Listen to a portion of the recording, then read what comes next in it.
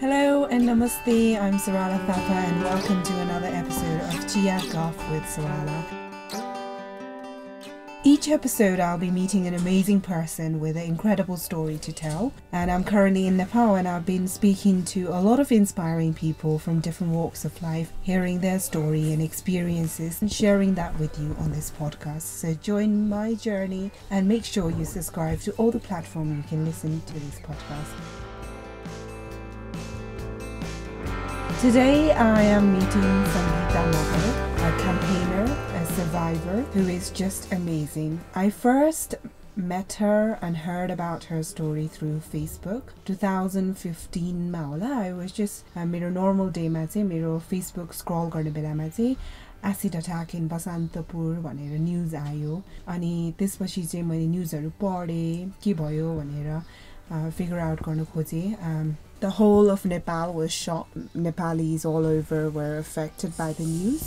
त्यसैमा मैले पनि केही गर्नुपर्छ भन्ने एउटा सोच लिएर चाहिँ I try to contact Sangeeta's family and Seema who is another girl who is affected by the same attack उहाँको फ्यामिलीलाई कन्ट्याक्ट गर्न कोसिस गरेँ अनि कन्ट्याक्ट भयो अनि त्यसपछि I was able to raise a few hundred, a few thousand pounds actually.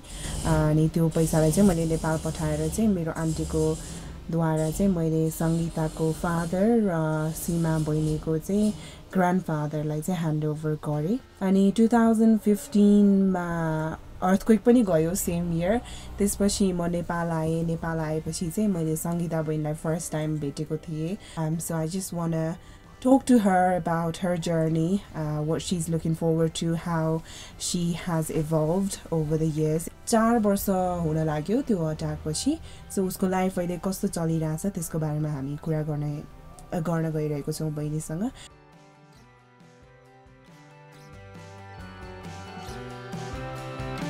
Angita, welcome to Chia Golf with Sarala.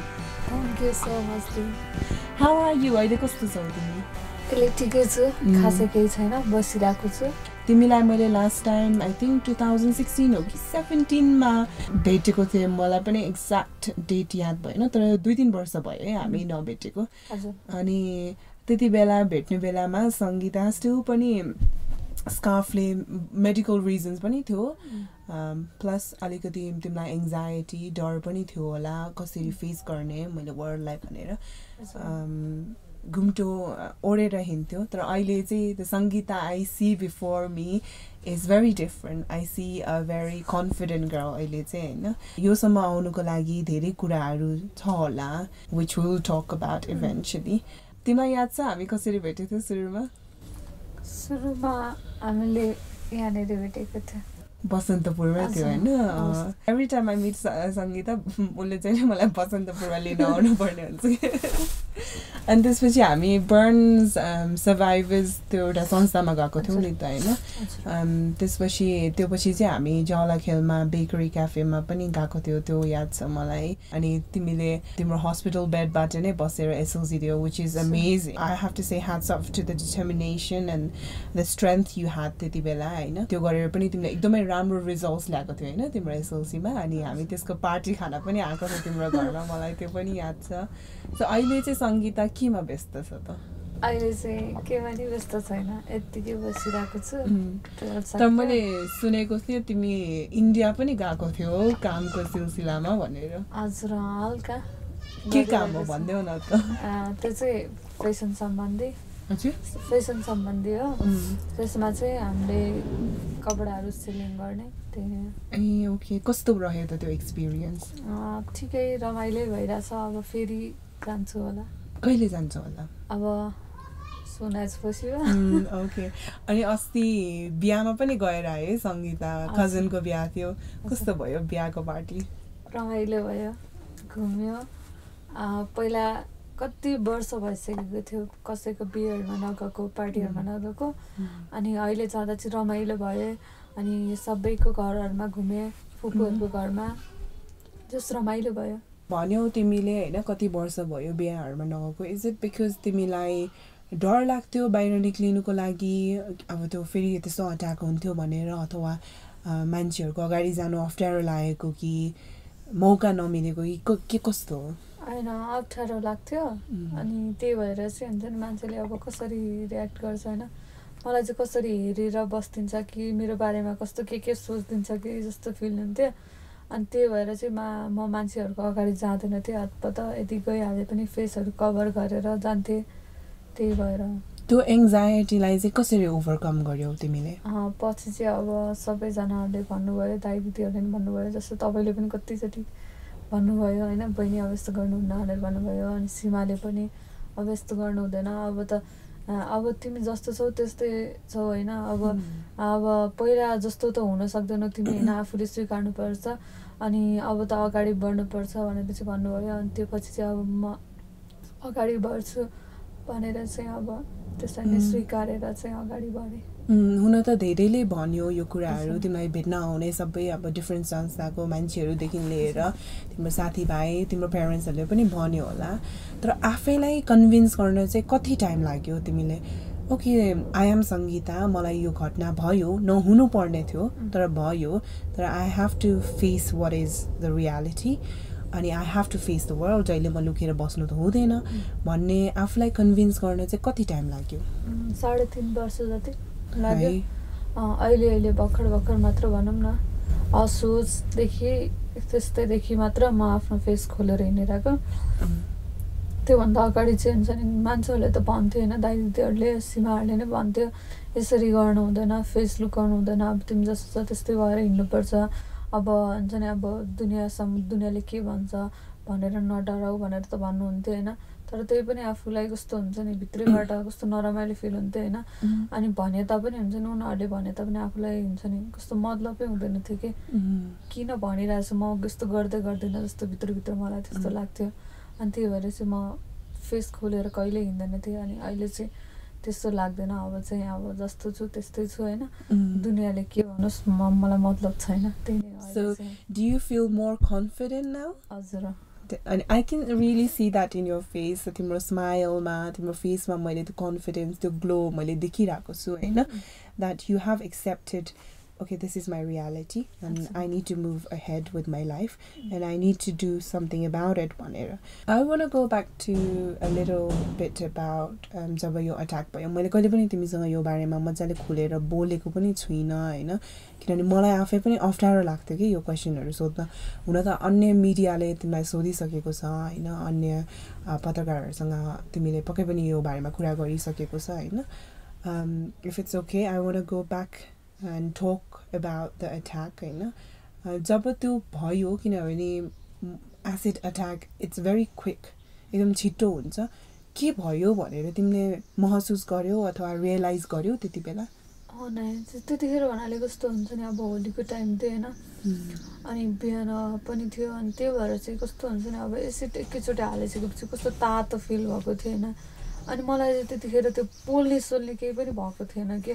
हुन्छ नि अब कस्तो तातो फिल भएर पुरा शरीरहरू पुरा बर्न जस्तै भइसकेको थियो अनि त्यतिखेरै मेरो शरीरहरू पुरै लट्ठिसकेको थियो कि मलाई फिलै हुँदैन थियो मलाई के भइरहेको छ कस्तो भइरहेको छ त्यो फिल नै हुँदैन थियो अनि हल्का हल्का थाहा पनि छैन कि एक्ज्याक्टली के भयो होइन कस्तो भयो होइन कुनै कुनै मोमेन्टहरू चाहिँ हुन्छ नि अहिलेसम्म नै थाहा छैन कि एक्ज्याक्टली त तिमीलाई याद छ क कसरी तिमीले तिम्रो फर्स्ट हेल्प माग्यो अथवा कसलाई हेल्प माग्यो अथवा के गर्यो त्यसपछि?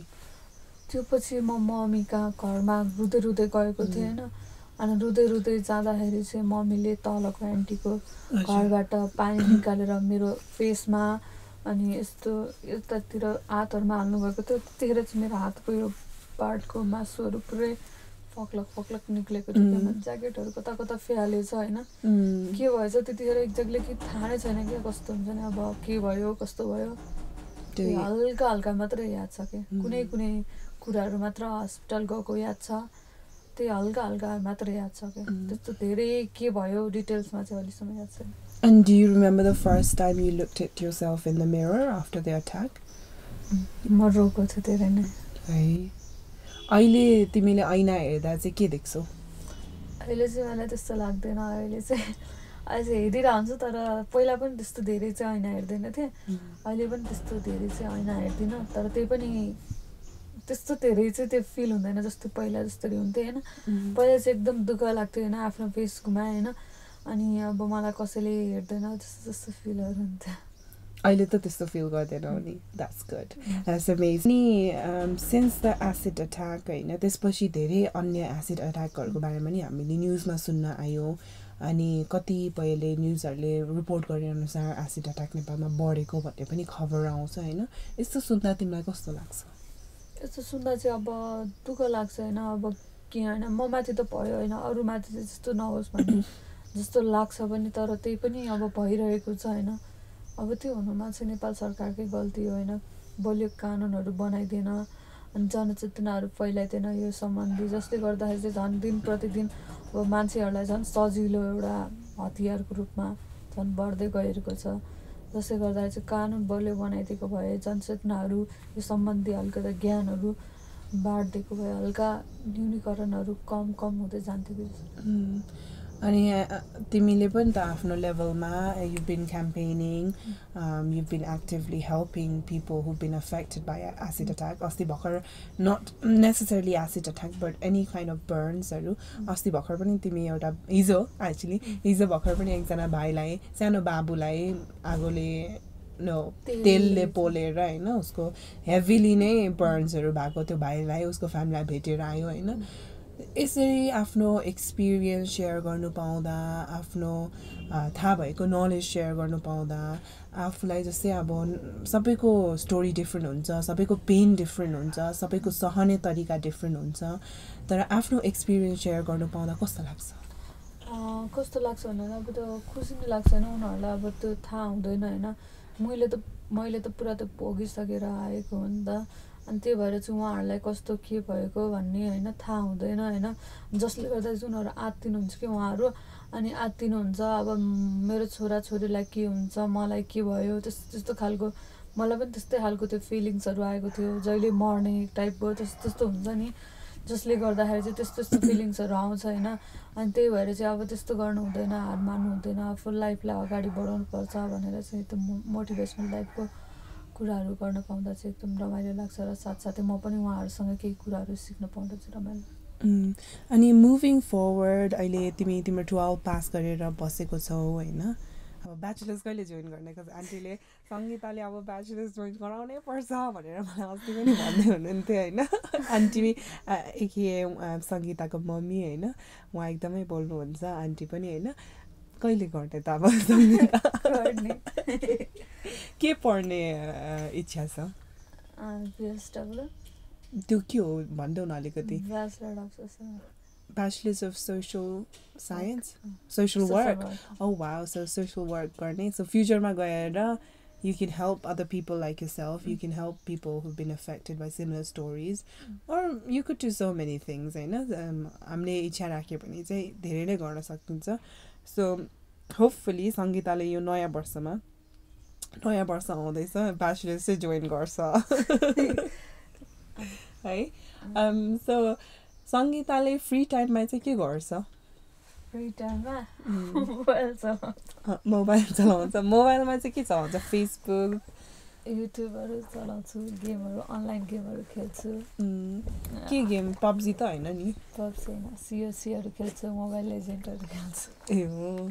अनि फेसबुक कतिको चलाउँछौ? नोटिफिकेसनहरू हेरिरहेको हुन्छु।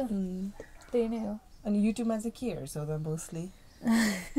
ड्रामाहरू ड्रामाहरू? कि कोरियन ड्रामा त होइन नि। अब। कोरियन ड्रामा हो। कुन सबभन्दा अहिले लेटेस्ट तिमी कुन कोरियन ड्रामा हेरिरहेको छ त? अहिले कोरियन चाइनिज सबै हेरिरहेको हुन्छ ए हो। अलिअलि त्यहाँबाट कोरियन बोल्न त सिकेको छैनौ नि। के अरे के भन्छ? सारङ हे यो।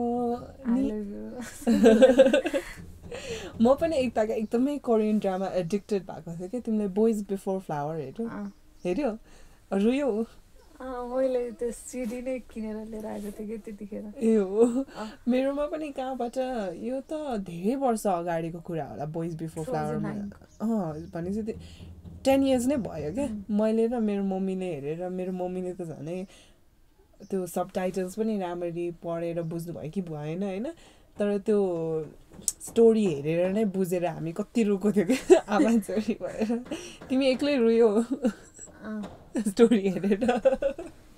जस कोरियन ड्रामाले धेरैलाई नै रुवाएको छ। नेपालीहरू धेरै नै फ्यान छ नि त होइन? नेपाली मुभी चाहिँ कतिको हेर्छौ त? नेपाली मुभीमा तिमीलाई सबभन्दा मनपर्ने मेल एक्टर को हो? मेल एक्टर उम्, अहिलेको? अहिलेको भन्नुपर्दा चाहिँ भन भन केही हुँदैन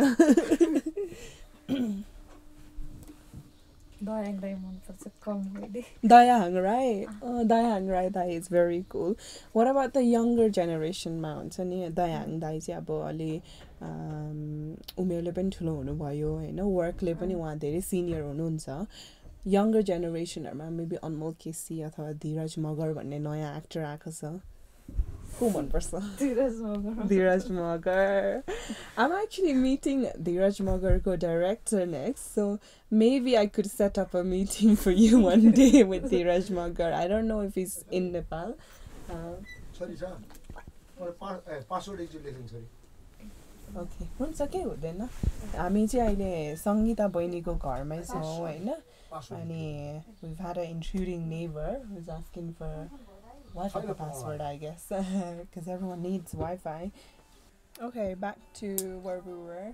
अघि के कुरा गरिरहेको थियो त्यो पनि बिर्स्यो एक्टरको ए अँ धीरज मगर सो रिनाशा दिदीलाई म next भेट्दैछु hopefully I can tell Rinasha दिदी that you're a big fan of Dheeraj Magar and would love to set up a meeting एक्ट्रेसमा चाहिँ को मनपर्छ त एक्ट्रेसमा Mm, Paramita Paramita. Rana, yeah. हजुर, Have you met her? या भेटेको छ She's very sweet from मैले त भेटेको छैन but what I've seen on the media she seems very sweet. त्यो अलिक फन्नी हुनुहुन्छ एकदम रमाइलो टाइपको मान्छे। Oh, that's nice, that's nice. उहाँको मुभी हेर्नु भएको छ कुन वाले हेर्नु ए चपाली हाइट अनि त्यसपछि पनि आएको थियो नि उहाँको एउटा मुभी नाम चाहिँ झट्टै याद आएन त त्यसपछि एउटा मुभी गर्नु भएको थियो उहाँले रोजी रोजी चाहिँ हेर्न जानु भएन ए ओके सङ्गीतालाई पनि मुभीमा इन्ट्रेस्ट छ कि मेबी वान डे अफर आयो भने.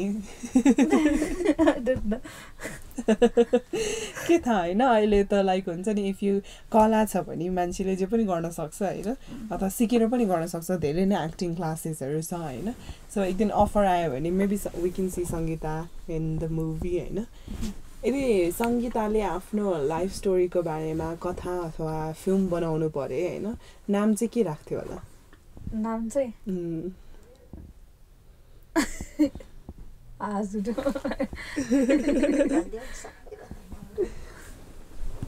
के राख्ने नाम चाहिँ? कथा कथा बनाएपछि फिल्म पनि बनाउन मिल्छ होइन? के मेरोमा? हजुर। मेरोमा भन्यो भने त मेरै स्टोरीको नामकै त्यो राख्छु सङ्गीता मगरले? होइन होइन। हुन्छ नि अहिलेसम्म साँचो कुरा बाहिर छ नि त्यही कुरा नै त्यसमा हुन्छ नि। त्यसको रियालिटी अब सोचेर राख्छु। उम्. अम् तिमीले भन्यौ साँचो कुरा बाहिर आएको छैन होइन? मिडियाहरूले चाहिँ अब कहिले कहिले अब स्टोरीलाई सेल गर्नको लागि हुन्छ कि आफ्नो फेभरमा बनाउन हुन्छ कि अथवा अलिकति मसाला एड गर्नको लागि हुन्छ उनीहरूले ट्विस्ट एन्ड टर्न्स गरेर बाहिर ल्याउँछ होइन? त्यस्तो देख्दा तिमीलाई कस्तो फिल हुन्थ्यो? किनभने नो तिमीले त मलाई अफ द रेकर्ड कतिपल्ट भनेको छौ होइन? द रियल ट्रुथ इज यो तर बाहिर न्युजले लेख्दा अर्कै लेखेको हुन्छ। त्यस्तो लेख्दा चाहिँ कस्तो अफेक्ट हुन्थ्यो? त्यो चाहिँ हुन्छ नि अब त्यसरी आफ्नै क्यारेक्टरमाथि हुन्छ नि त यस्तो नराम्रो भनेर औँला उठाउँदा चाहिँ. एकदम दुःख लाग्थ्यो होइन? अनि मैले जुन गल्ती गरेको छैन होइन? अनि त्यो गल्तीको दोषी पनि आफूलाई दिँदाखेरि चाहिँ एकदम नरमाइलो लाग्थ्यो कि? हुन्छ नि अब उहाँहरूले सायद साँचो कुरा लेखिदिनु भएको भए होइन समाजले हेर्ने दृष्टिकोण यो चेन्ज हुन्थ्यो होला सायद. होइन। त्यस्तो लाग्छ अब होइन अब। जुन अब मलाई त अब त्यो अहिले त्यस्तै फरक नपारे पनि अब मलाई त त्यस्तो भइहाल्यो होइन। अब अब आउने त्यो हुन्छ नि अब। जुन. अब धेरै धेरै हरेक कुराहरूबाट भइरहेको हुन्छ नि त हिंसाहरू. हिंसाहरू हुँदाखेरि चाहिँ साँचो कुरा बुझेर मात्र लेखिदिनु होला होइन। जसले गर्दाखेरि चाहिँ हुन्छ नि त्यो भिक्टिमलाई हुन्छ पीडकलाई. हुनु न त्यो कुनै प्रकारको झन् पीडा भइरहेको हुन्छ होइन। झन् न्युज बाहिर निक्लिँदा गलत लेखिँदा झन् उनीहरूलाई पीडा हुन्छ होइन। जसले गर्दाखेरि चाहिँ साँचो कुरा बाहिर लेखिदिँदा नै राम्रो हुन्छ। हुन्छ नि अब एउटा मिडियाले के लेख्यो भनेर त्यसको पछि नलागेर हुन्छ नि। अब साँचो कुरा के हो उसको परिवार टोलमा बस्ने मान्छेहरूलाई गएर सोधेर हुन्छ नि।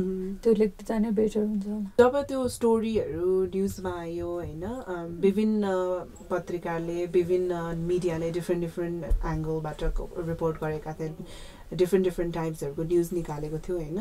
त्यति बेला कहिले फिल हुन्थ्यो कि मेबी यो स्टोरी पढेर चाहिँ जुन पब्लिकले चाहिँ मलाई सपोर्ट गर्नुभएको छ उहाँहरूले चाहिँ मलाई सपोर्ट गर्नुहुन्न अथवा उहाँहरूले मलाई गाली गर्छ भनेर त्यस्तो फिल भएको थियो. है? अहिले पनि हुन्छ होइन हुन्छ मान्छेहरूले होइन साँचो कुरा बुझेकै छैन होइन। अहिले पनि थाहा छैन कि उनीहरू उहाँहरूलाई लाग्छ कि होइन। मैले त्यो दुवैजनाको लभ परेको थियो होइन? लभ परेको थियो अनि लभ परेर जात थाहा पाइसकेपछि छोड्यो भन्ने उहाँहरूलाई अहिले पनि त्यस्तै मान्छेको मेन्टालिटी नै त्यस्तै खालको नै जस्तो जान्छ नि।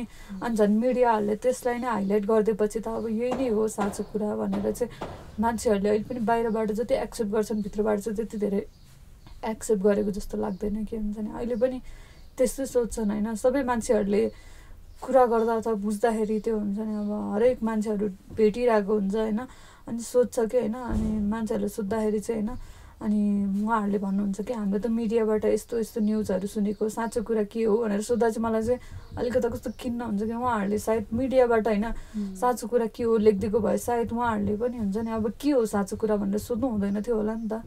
त्यो अहिले पनि त्यस्तै सोधि सोधिरहेको हुन्छ कि जता पनि जान्छु होइन? मान्छेहरू भेटिरहेको हुन्छु अनि भेट्दाखेरि चाहिँ के हो कस्तो हो भनेर सोधिरहेको हुन्छ कि अहिले पनि।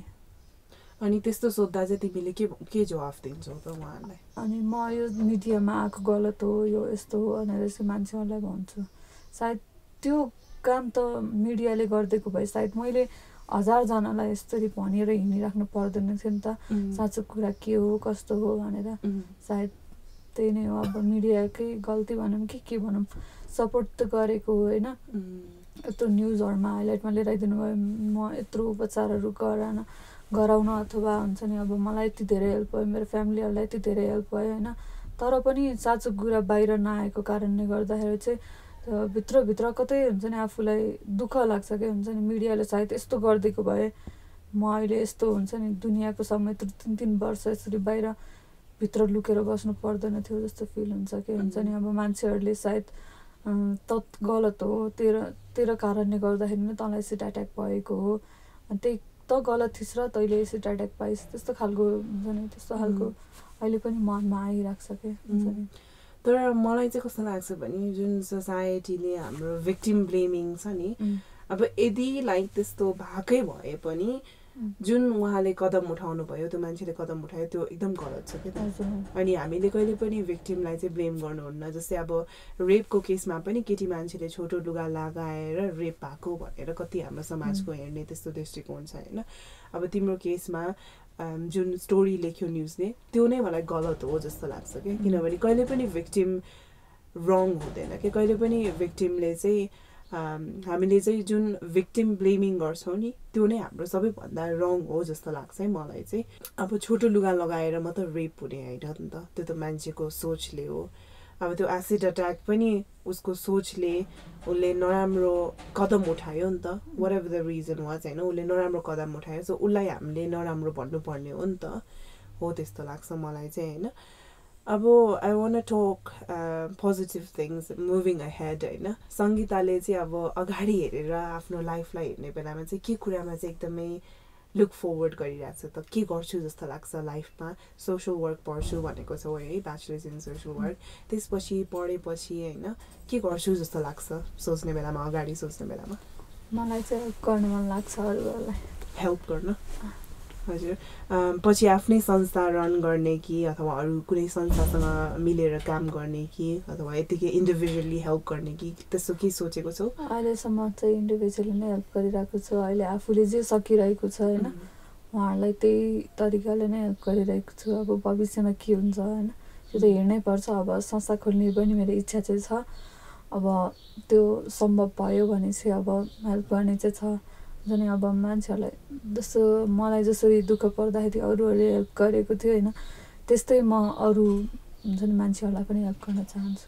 द्याट्स अ ब्युटिफुल थट अनि सकेको मद्दत जहिले पनि गर्नुपर्छ भन्ने मोटोमा चाहिँ म चाहिँ हुर्किएको हो होइन।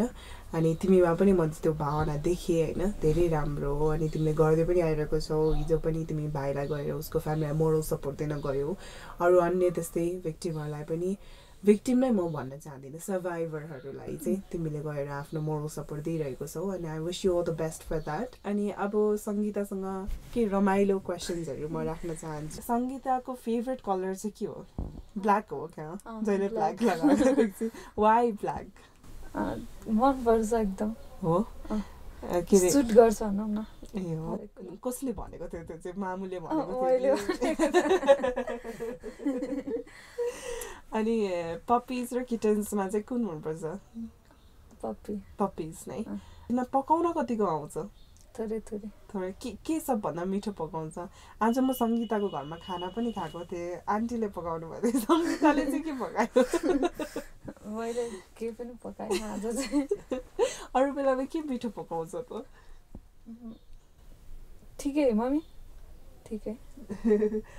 आन्टीले भनिदिनु त के पकाउँछ सङ्गीताले मिठो चाहिँ एकदम। मैले मिठो त तरकारीहरू खान पकाउँछ। मैले अब पहिलेदेखि उसलाई लाउँदैन नि त। अब के। के दुध कटा भएको पहिला पनि।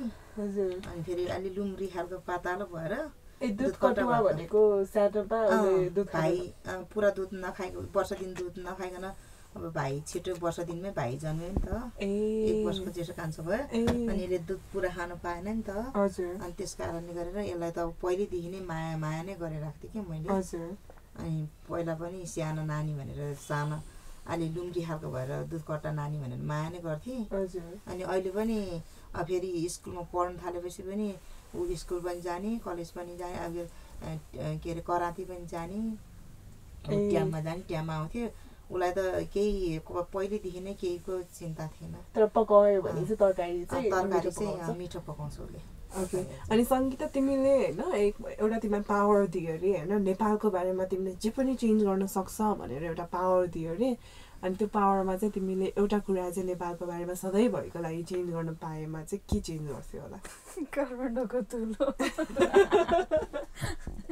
म पनि त्यही यो काठमाडौँको धुलो चाहिँ मान्छेले जोक बनाउँछ नि फ्री मेकअपको पाउडर जस्तो हो भनेर।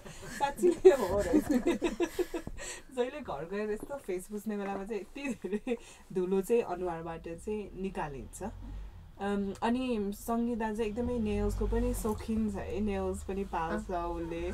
अनि उसको रुममा छौँ अहिले मैले धेरै उसको नेल पलिस कलेक्सन पनि देख्छु। यो नेल पलिसमा चाहिँ कतिको पैसा खर्च गर्छ सङ्गीताले। अस्ति म आउने बेलामा उसले टेनवटा डिफ्रेन्ट कलर्स लगाएर बसेको थियो। अहिले चाहिँ दुइटा कलरमा झरेछ। खाना चाहिँ हातले खान्छौ कि चम्चाले? हातले पनि खान्छु चम्चाले पनि खान्छु। तर धेरै जस्तो हातै युज गर्छु ओके रमाइलो भयो होइन? सङ्गीता धेरै पछि भेट भएको अनि धेरै धेरै थुप्रै विषयहरूमा कुरा गरियो सङ्गीतासँग। त अहिले मोर कन्फिडेन्ट भएको छ आफूमा। उसले संसारलाई अथवा दुनियाँलाई हाम्रो सोसाइटीलाई फेस गर्ने यो स्ट्रेन्थ पनि सङ्गीतामा मैले देखेको छु। अ, सङ्गीताले आफ्नो फ्युचरमा म यस्तो गर्छु भनेर पनि उसले प्लान्सहरू बनाएको मैले देखेको छु। So I wish you all the best for everything you do in life Sangeeta होइन? तिमी जेमा आर्ट छौ त्यसमा आफूलाई बिलिभ गरेर अघि बढ्नु अनि आम स्योर त्यसमा तिमीले सक्सेस पाउने नै छौ होइन? केही मेसेज छ? अहिले हाम्रो पडकास्ट लिसनरहरू जो जसले सुनिराख्नु भएको छ उहाँहरूलाई तिम्रोबाट केही मेसेज छ? मेरोबाट म्यासेज भन्नाले अब त्यही नै हो अब मेरो जहिले म्यासेज एउटै खालको हुन्छ होइन? एउटै खालको हुन्छ भनौँ न अब त्यही अब म पनि अब त्यही अब भएर नै होला अब त्यस्तै खालको म्यासेज नै जहिले आइरहेको छ।